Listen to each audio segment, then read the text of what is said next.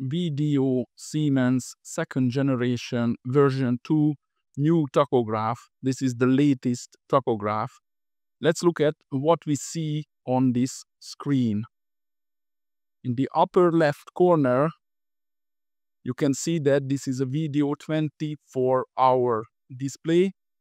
This helps the drivers work. If it is turned on, this VDO function, then it gives such forward planning times. So this is a very great function.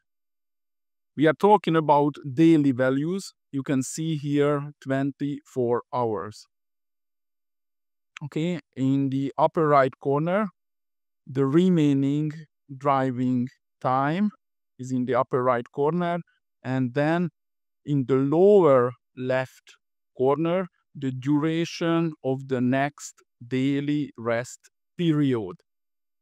But because the truck has been standing for a good two, two and a half hours, it started counting down. But if I continue my daily activity, then it will jump back to the original daily rest period. In the lower right corner, you can see the time after which the daily rest period must begin. So the daily rest period must begin in 3 hours and 39 minutes. This now equal with uh, the remaining driving time. So that means the driver did not really use his driving time on this day.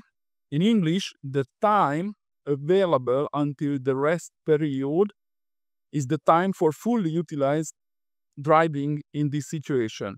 Therefore, these two time intervals here on the right are the same.